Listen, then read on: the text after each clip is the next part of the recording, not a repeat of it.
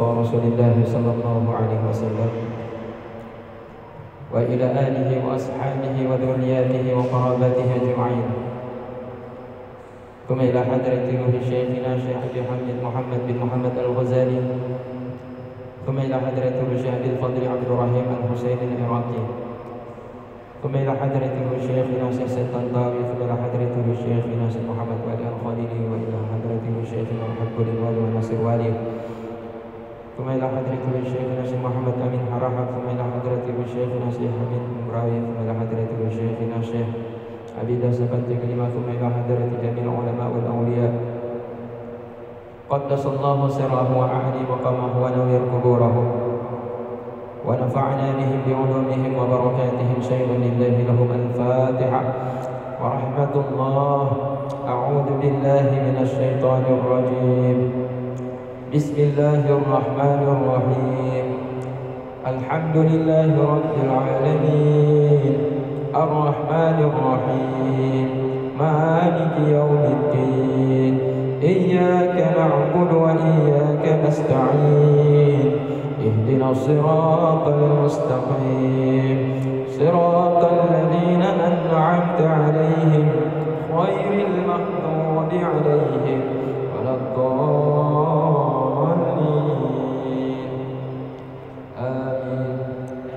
Bismillahirrahmanirrahim. Assalamualaikum warahmatullahi wabarakatuh.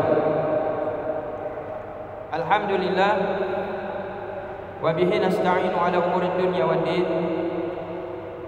Ashhadu an la ilaha illallah wahdahu la syarika lah wa ashhadu anna sayyidana wa habibana Muhammadan 'abduhu wa rasuluhu wa la nabiyya ba'dahu.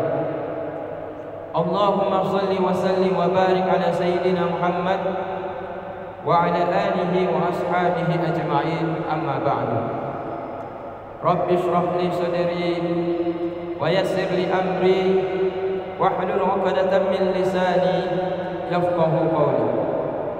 Jamaah kaum muslimin, jamaah salat maghrib Masjid Agung Baitul Ghafur Abdia yang dimuliakan Allah Ta'ala. Kembali lagi kita mengikuti kajian pada malam ini Masih berkaitan dengan fikih.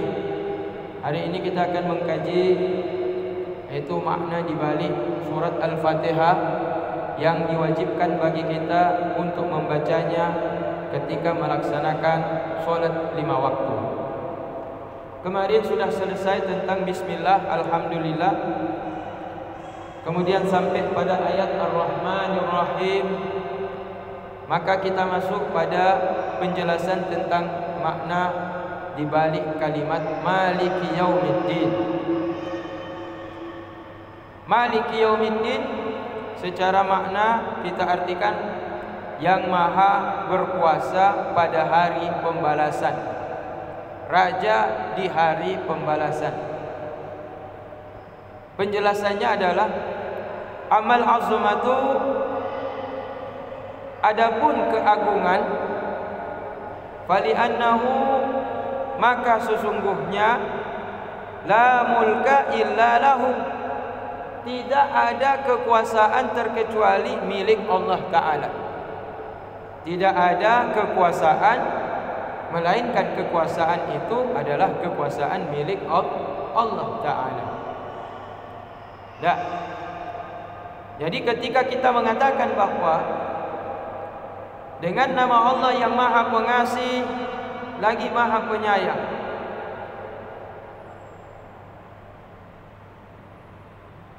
Malik Yaumiddin. Raja yang berkuasa pada hari pembalasan Menunjukkan bahawa Allah Ta'ala Satu-satunya zat yang maha agung dan maha mulia Hal itu dikarenakan tidak ada kekuasaan di hari itu Melainkan kekuasaan Allah Ta'ala Mungkin hari ini Ada sebagian penguasa yang menganggap dirinya maha kuasa Hari ini mungkin ada raja yang merasa dia adalah maharaja. Tapi suatu hari raja itu akan wafat. Suatu hari nanti raja itu pun akan fana binasa. maka secara otomatis kekuasaannya itu tidak kekal.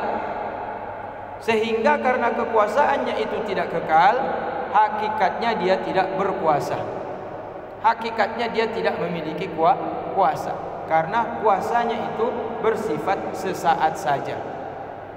Dah. Wa amal khaufu dan adapun bermula khauf rasa takut hamba kepada Allah taala. Kenapa kita patut untuk merasa khawatir dan takut kepada Allah? Karena Allah taala maliki yaumiddin. Karena Allah taala adalah raja yang berkuasa pada hari pembalasan. Dialah yang berhak menentukan nasib setiap hamba-hambanya Dialah yang akan mengazab membalas setiap amal-amal yang dikerjakan oleh setiap hambanya. Karena itu pantaslah bagi setiap hamba ketika disebut Maliki Yaumiddin bergetar di hatinya timbul rasa takut kepada Allah Taala. Jadi ketika solat dia rasa takut ketika menyebut kata kalimat kata Maliki Yaumiddin Maliki Yaumiddin Kenapa? Fali hauli yaumil jaza? Dikarenakan keadaan pada waktu hari pembalasan. Sangat tergantung setiap hamba-hamba yang pernah hidup di dunia ini. Tidak bisa lepas daripada kuasa Allah Subhanahu wa taala. Tidak bisa berlepas diri daripada kehendak Allah taala. Karena itulah karena itulah ketika seseorang mengatakan Maliki Yaumiddin maka timbul di depan kalimat yaitu mohon tolong pertolongan kepada Allah dengan ucapan Iyyaka na'budu wa iyyaka nasta'in. Hanya kepada Engkau yang kami sembah ya Allah. Kami menyembah hanya kepadamu. Tidak ada yang lain yang kami minta tidak ada yang lain yang kami mohon pertolongan. Tidak ada yang kami sembah seumur hidup kami. Hanya engkau ya Allah. Karena itulah Wa iyyaka nasta'in. Hanya engkaulah kami memohon pertolong, pertolongan.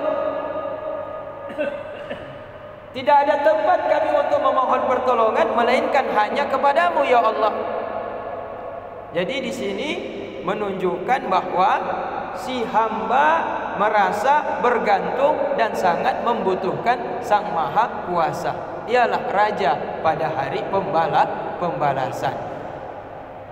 Dah. Wa tahaqqaqa annahu ma tayassara ta'atuka illa bi'anatihi. Dari sini dapat kita memastikan bahawa sesungguhnya tidaklah mudah bagi orang untuk melaksanakan ketaatan kepada Allah Ta'ala terkecuali ketaatan yang dia lakukan itu mendapatkan i'anah bantuan pertolongan daripada Allah yang maha kuat maha kuasa. Sini kita bisa mendapati bahawa ketika disebutkan iyyaka na'budu hanya kepada engkau kami menyembah. Wa iyyaka nasta'in hanya kepada engkau yang kami mohon pertolongan menandakan bahawa apa?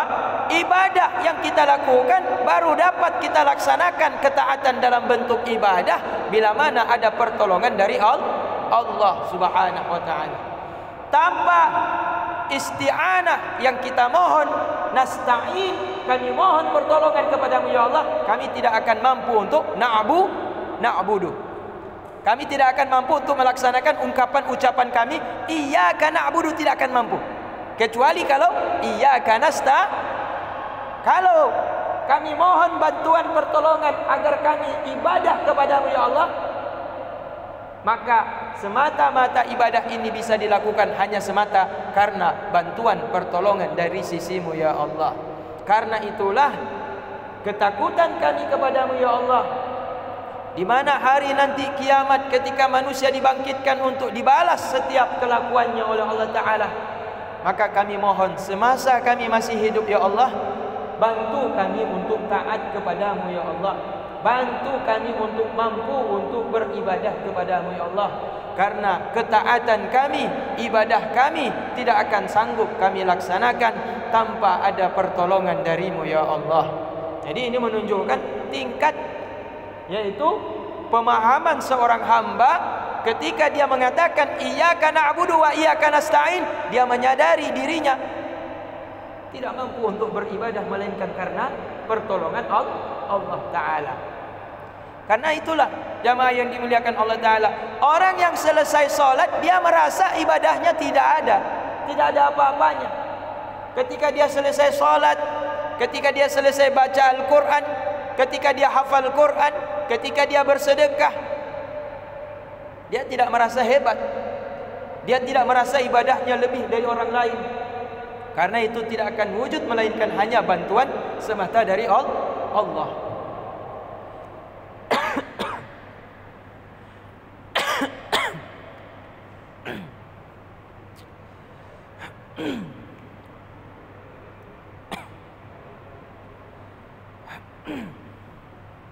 Dah.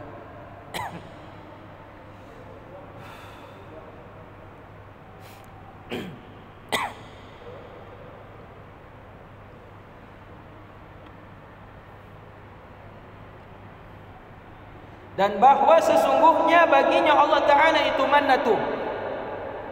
Karunia yang Allah berikan kepadamu jika engkau mendapatkan petunjuk untuk taat kepada Allah Ta'ala. Ada orang memilih dua pilihan.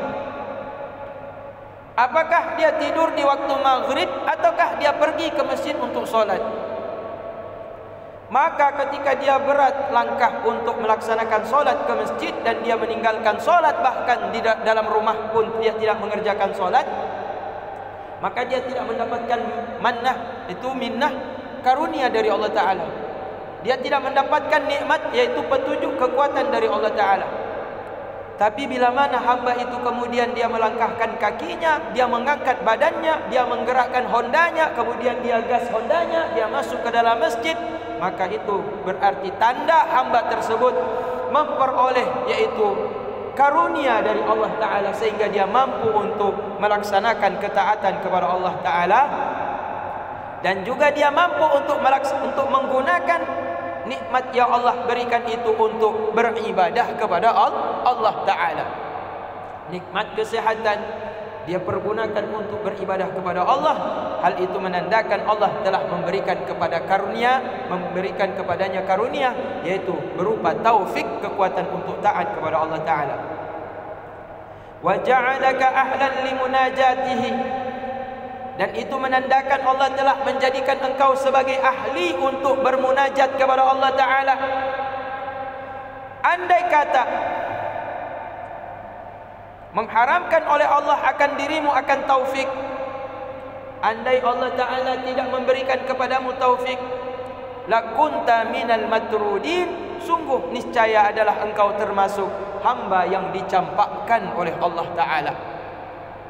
Jadi andai kata Allah taala tidak memberikan kepada kita taufik apa itu taufik? Kekuatan dalam beribadah. Kekuatan dalam melaksanakan hidayah ilmu yang sudah kita ketahui melaksanakannya itu orang yang sudah mendapatkan hidayah belum tentu mendapatkan taufik. Sering saya sampaikan belum semu, belum tentu semua orang yang mengetahui halal dan haram dia akan melaksanakan semua yang halal dan akan meninggalkan semua yang haram. Kapan orang itu melaksanakan semua yang halal? Di saat dia mendapatkan taufik. Kapan setiap orang itu meninggalkan yang haram? Di saat dia mendapatkan taufik. Jadi orang tu kalau udah dapat hidayah belum tentu dapat taufik. Makanya yang kita mohon minta dalam doanya berikan kepada kami taufik dan hidayah. Dan kita pun sering mendoakan kepada kaum muslimin. Semoga Allah memberikan taufik dan hidayahnya kepada kita sekalian. Karena kalau cuma hidayah saja banyak. Banyak orang yang dengar ceramah. Banyak orang yang dengar khutbah. Dijelaskan tentang hukum syariat tapi tidak semuanya melaksanakan apa yang sudah dia dengar cukup diketahui tapi dipraktekkan tidak tapi alangkah indahnya hamba-hamba Allah yang ketika dia mendapatkan ilmu dia berusaha sekuatnya untuk melaksanakan ilmu yang dia ketahui barulah dia mendapatkan taufik dari Allah Subhanahu wa taala. Inilah makna daripada iyyaka na'budu wa iyyaka nasta'in. Hanya kepadamu kami beribadah, hanya kepadamu kami mohon pertolongan. Artinya apa? Kami tidak akan mampu beribadah hanya kepadamu semata kalau tidak mendapatkan pertolongan semata-mata dari dari Engkau ya Allah. Mungkin kadang-kadang kami ibadah tapi berkumpul ibadah dengan menyembah selain Allah. Kadang-kadang minta sama Allah. Kadang-kadang bukan minta lagi sama Allah, kadang-kadang minta sama jin. Disebut dibaca ayat kursi tapi minta lagi kepada penghuni goa. Kadang-kadang dia beribadah, berdoa, tapi kemudian dia selingi dengan meminta kepada penguasa laut. Jadi ibadahnya itu tidak khusus kepada Allah Ta'ala. Bagaimana kita mendapatkan ibadah agar bersih juga hanya kepada Allah? Tidak ada lain melainkan memohon pertolongan daripada Allah semata. Allah semata. Barulah mendapatkan ibadah yang ikhlas, murni. Ibadah itu hanya untuk semata Allah Subhanahu Wa Taala. Jadi ini kan rentetannya kan panjang jadinya. Tidak semua orang yang dapat hidayah pasti dapat taufik. Tidak semua orang yang dapat taufik dapat ikhlas dalam beribadah. Begitu kan? Ada orang dapat hidayah. Diarahkan oleh Allah untuk hadiri pengajian. Diarahkan oleh Allah digerakkan hatinya, dikuatkan dirinya untuk datang kepada pengajian-pengajian. Ke dakwah-dakwah, tempat ceramah-ceramah. Begitu sampai dapat ilmu dia tahu halal dan haram, mana wajib, mana sunnah, mana makruh. Kemudian dia belum pasti mendapatkan taufik. Ketika Allah memberikan kepada kepadanya taufik, maka dia mulai melaksanakan ilmu yang dia ketahui. Tapi setiap orang yang mendapatkan taufik belum tentu mendapatkan ikhlas. Karena itulah tidak semua orang yang mendapatkan taufik diterima ibadahnya oleh Allah.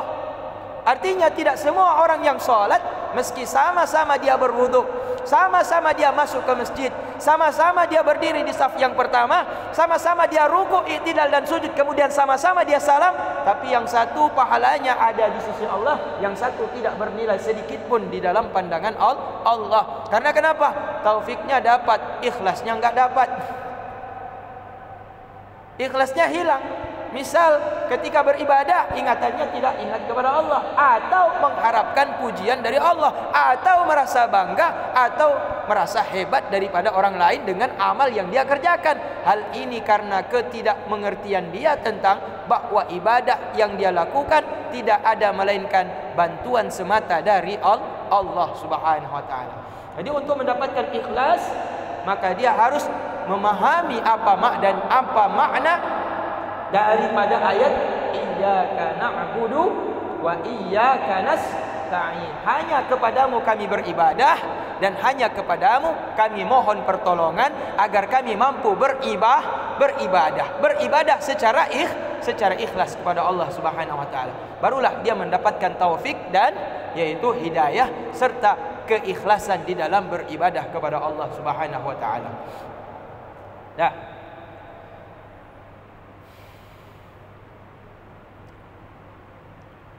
Jadi andai kata kita Allah haramkan taufik Tidak diberikan kepada kita taufik Maka kita akan termasuk kelompok yang dicampakkan oleh Allah Ta'ala. Artinya dicampakkan bersama syaitan yang terkutuk.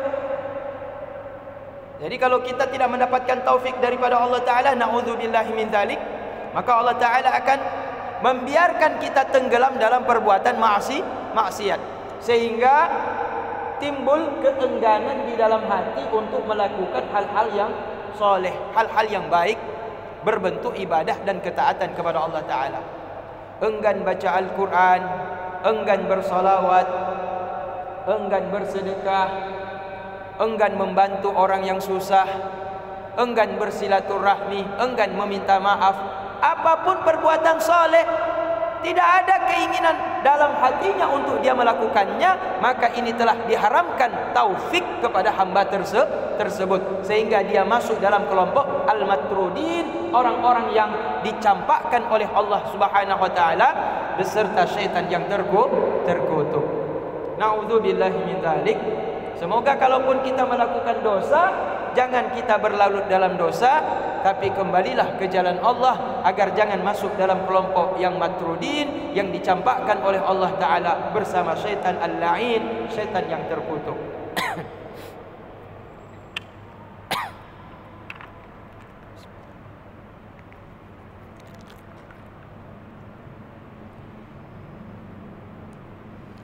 ثم إذا فرغت من التعوذ Kemudian jika engkau telah selesai daripada mengucapkan kalimat ta'awuz. Apa itu kalimat ta'awuz? A'udzu billahi minasyaitonir rajim.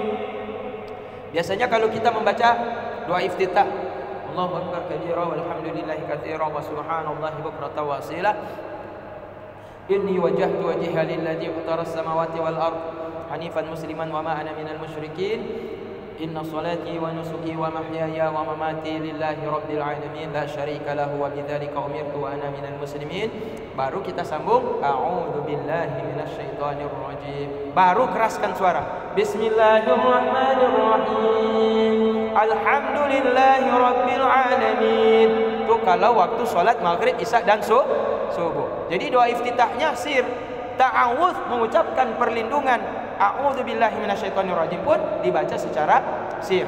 Bismillah, alhamdulillah seterusnya itu baru bacanya nyari. Apa makna sir? Sir itu rahasia. Artinya kita baca tapi hanya hanya cukup untuk mendengarkan kuping kita sendiri saja. Bukan kita baca untuk didengarkan oleh kuping orang lain, telinga orang lain. Nah, itu maknanya sir. Jadi tidak boleh orang pun membaca At-ta'awudz dan juga doa iftitah tidak boleh dibaca secara jahar. Jahar artinya bagaimana? Didengarkan kepada orang lain. Tapi tidak boleh juga tidak dibaca. Tapi cuma dibaca misalkan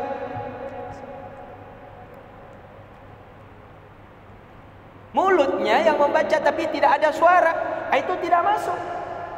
Kalau ada orang yang membaca iftitah dia mulutnya mengatakan kata-kata tersebut tapi tidak mengeluarkan suara tidak sah.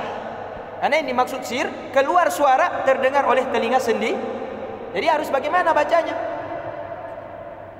Allah Akbar Alhamdulillah. Subhanallah. Ini dia dengar sendiri apa yang dia baca.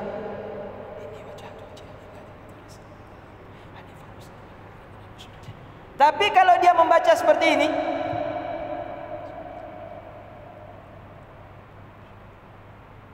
Han masunya. Kalau yang dia baca seperti itu mulutnya komat kamit mengucapkan tapi tidak terdengar suara, tidak ada faedah. Maka kalau yang dia lakukan itu sunnah, tidak dapat pahala sunnah. Kalau yang dia lakukan itu Al-Fatihah, Fatihah ini hukumnya wajib dan rukun sholat, batal sholat. Batal sholat? Batal sholat. Misalkan dia masuk Bismillahirrahmanirrahim ya.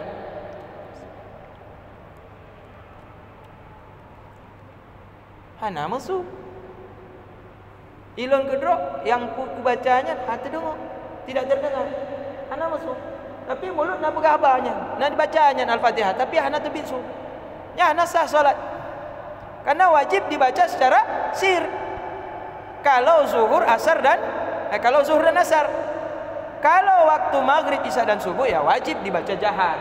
Yang jadi masalah ketika sir zuhur dan asar dia tidak mengeluarkan suara ketika membaca al-fatihah maka rukun solat yang wajib dibaca itu fatihah. Ketika tidak keluar suara yang mampu didengar oleh telinganya sendiri batal solat. Batal solat ayah. Apalagi kalau dibaca dalam ha hati. Ada orang solat. Babah dia hana hana hana bergerak-gerak Ha, berarti nak baca Fatihah, baca Fatihah dalam hati. Wujudnya hanya baca Fatihahnya wajib diucapkan dengan lisan ketika jahar dengan nyaring ketika sir dibaca hanya cukup telinga sendiri yang mende. Kalau tidak diucapkan batal solat. ha. Dah. Beda kalau orang bisu. Kalau orang bisu ya semampu dia. Kalau orang bisu semampu dia untuk mengucapkan melafazkan lafaz al-fatih al-fatihah. ya.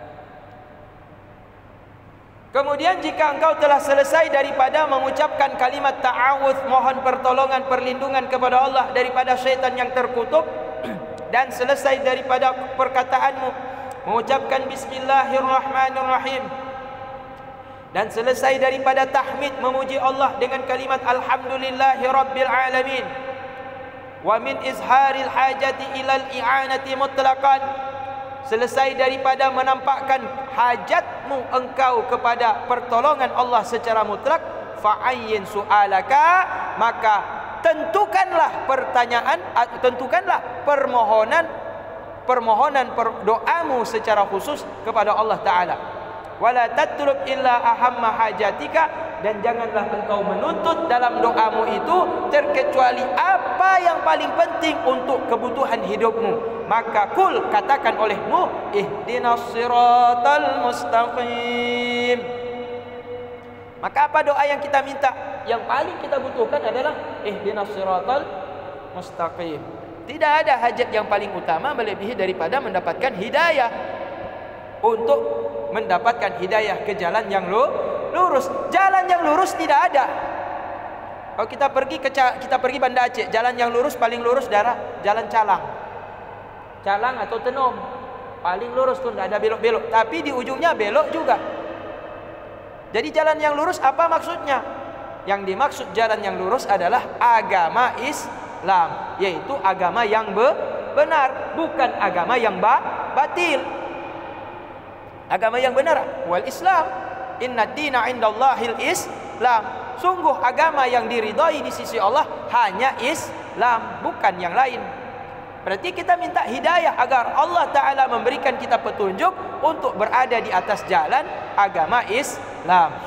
Itulah yang paling hajat yang paling utama. Jangan minta yang lain Sesudah kita mengatakan Alhamdulillahirabbil alamin Arrahmanir rahim Maliki yaumiddin Iyyaka na'budu wa iyyaka nasta'in maka mintalah pertanyaan yang paling utama untuk kebutuhan hidupmu yaitu ihdinas siratal mustaqim. Minta agar kita diberikan hidayah petunjuk agar bisa berada di atas jalan yaitu agama yang benar ialah agama Islam. Dah. Kenapa agama Islam yang kita minta? Karena inilah jalan yang bisa menyampaikan kita untuk mendapatkan keridhaan Allah Ta'ala. Tidak ada ajaran yang lain yang dapat membawa kita kepada keridhaan Allah. Melainkan ajaran yaitu agama Islam. Dah.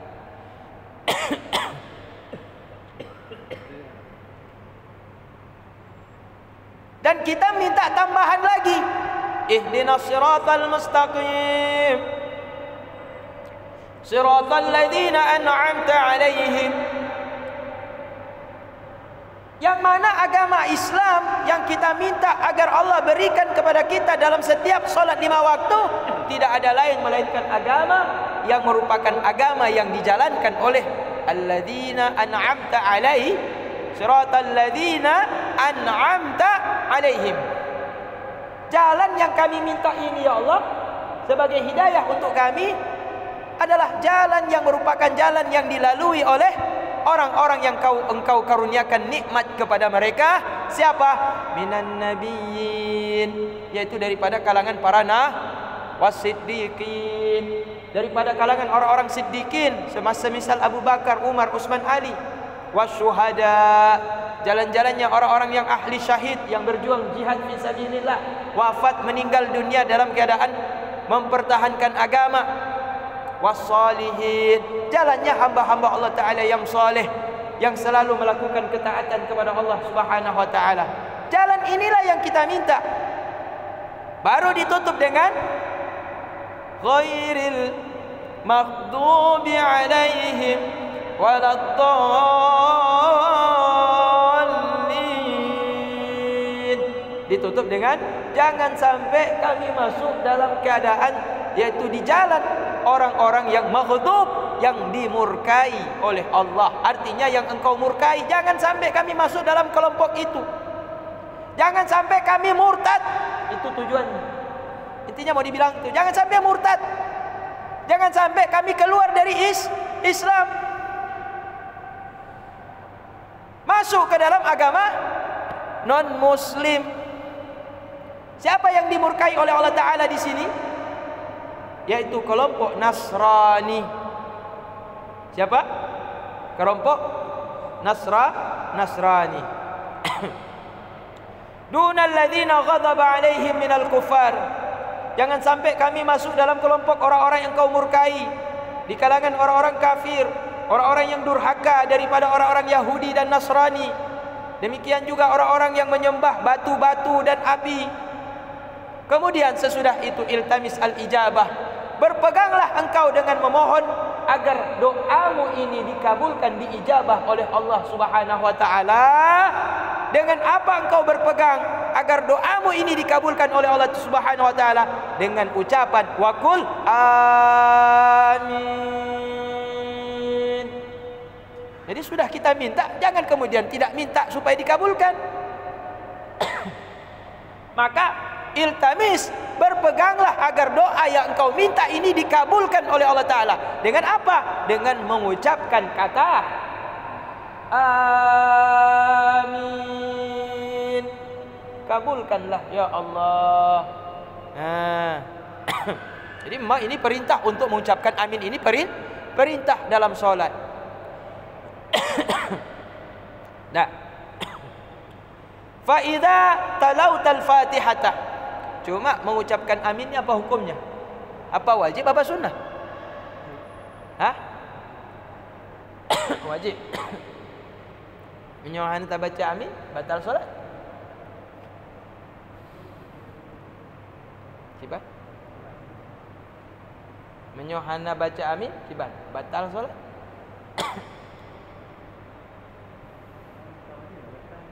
Ha?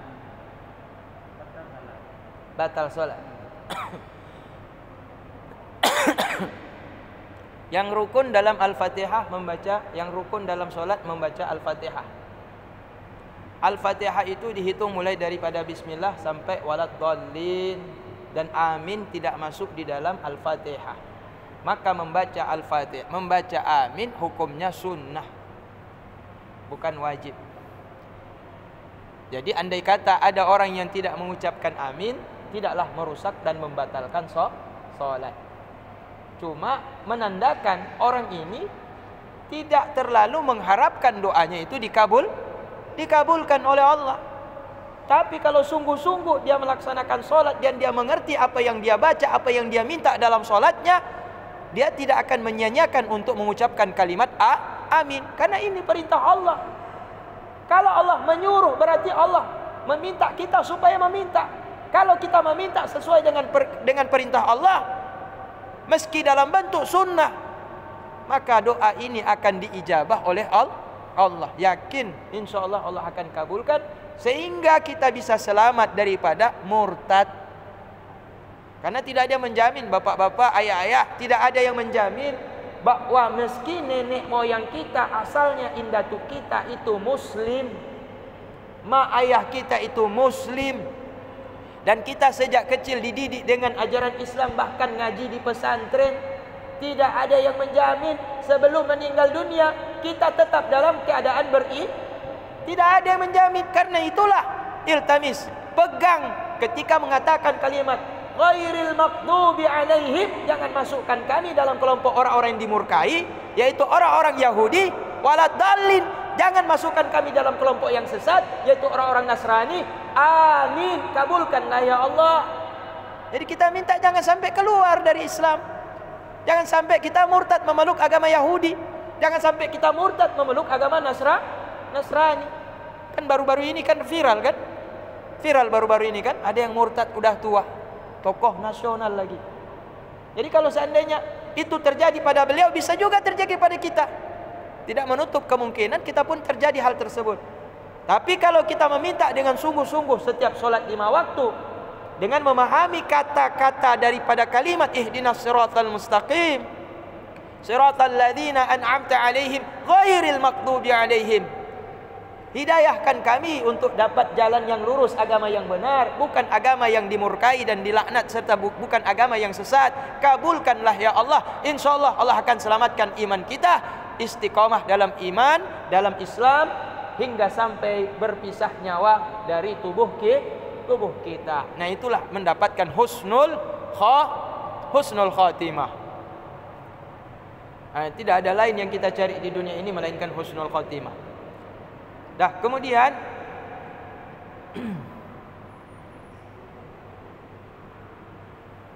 Fa idza talawta al-Fatihata kadzalika fayushbihu an takuna min alladhina qala Allah ta'ala fihim.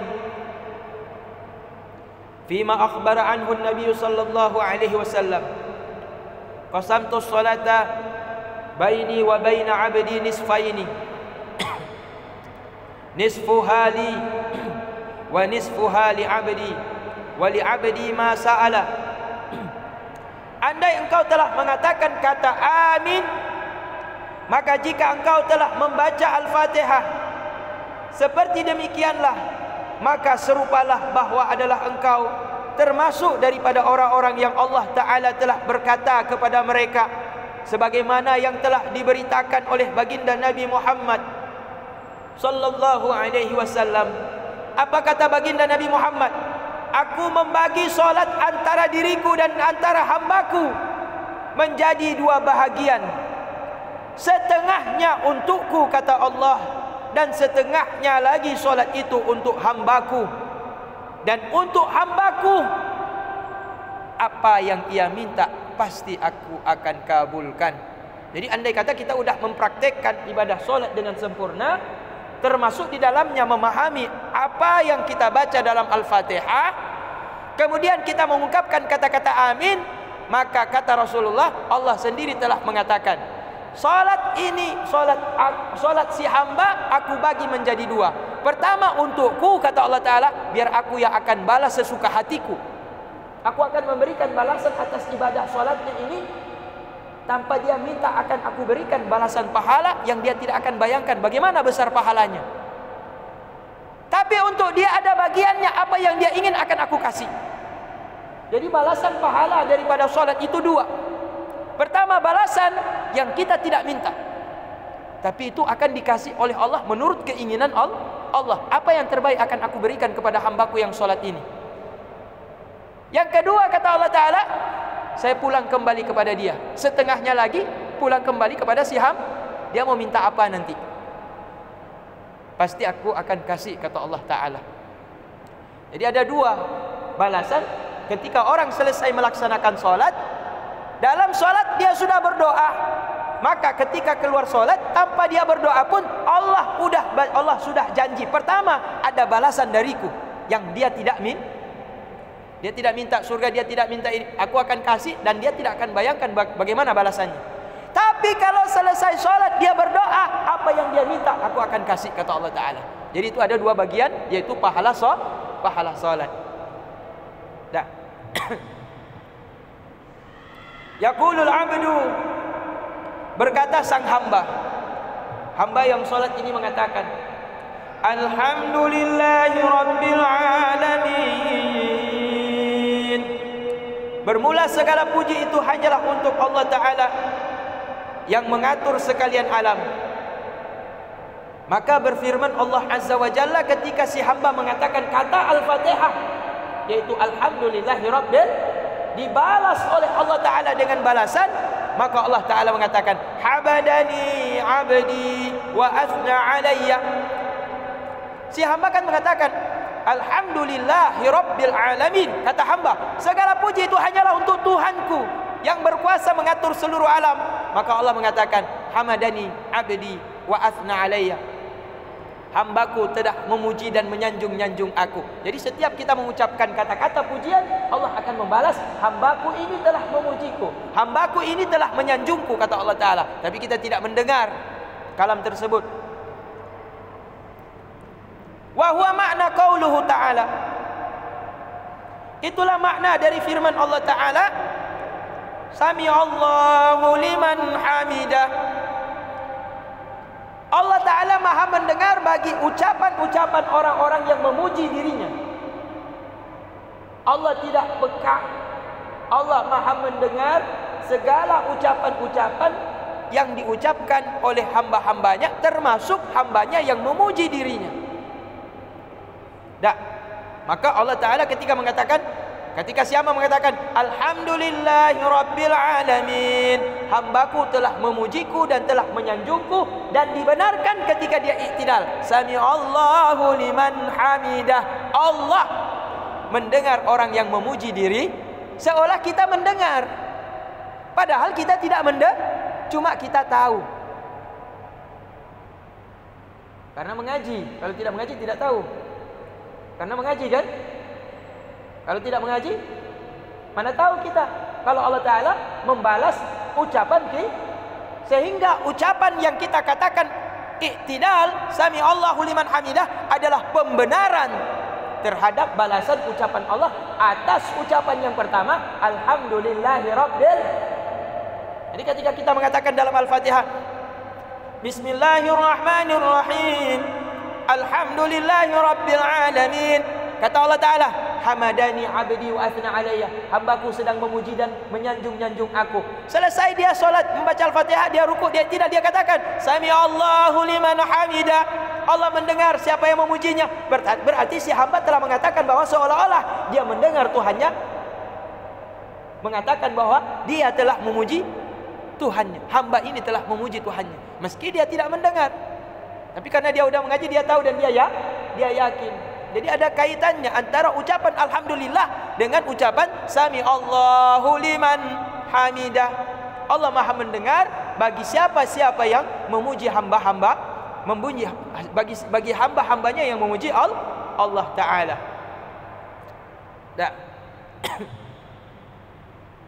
Al-Hadis. Falau lam yakun laka min salatika hizun siwa dzikrillah laka fi jalalihi wa azmatihi fanahiyuka bidzalika ghanimah fa kaifa bima tarjuhu min thawabihi wa fadlihi wa kadzalika yanbaghi an tafhama ma taqra'uhu min aswar kama sayati fi kitab tilawatil quran fala taghfal an amrihi wa nahyihi wa ومواعظته.